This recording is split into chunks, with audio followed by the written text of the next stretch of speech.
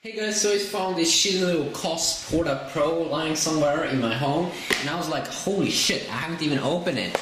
And I'd be like, holy shit, this is probably some shitty ass in-ear, because they cost like, you know, or in-ear, I mean like, it's Koss Porta Pro. I don't want this shit, I know it's shit. Look at them, like it's a cheap ass stuff, hearing is believing, oh, limited lifetime warranty. No, this is too bad for me. We need to take this shit out to the sledgehammer. Yeah, come on, boy.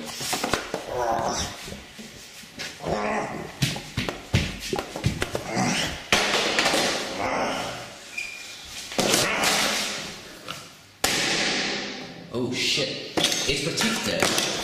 Holy shit. I need to like open this shit up. There we go. This shit? What is is this like for real, bro? What is this shit?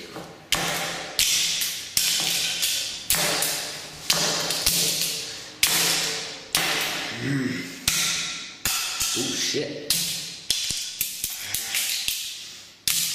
Don't worry people. I am a professional. Holy shit, this one is pretty protected. I gotta say, like this is I'm not sure how this shit works, but this, okay, there we go. So here we got the sound. Let's go ahead and see.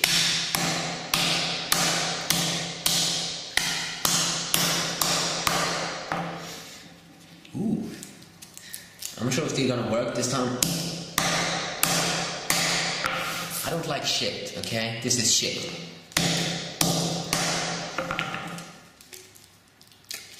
Shitty little shitty things.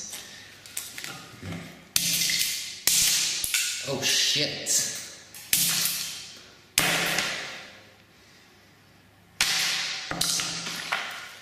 Oh, shit.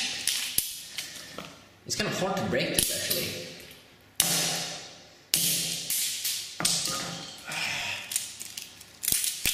Um, these seems to actually become hard to smash like holy shit um, but that's like Koss Porta Pro.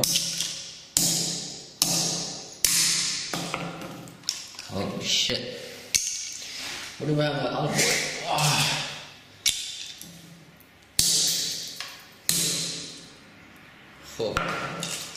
This is extremely hard to break, like, holy shit. Wait a sec. Maybe you should take this one off. Hmm. Oh, there we go. Shit.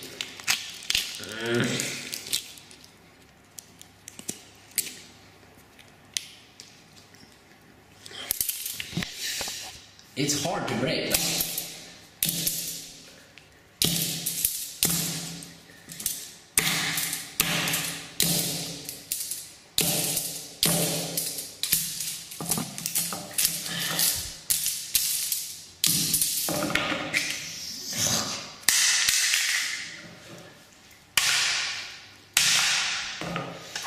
This one's pretty good quality also.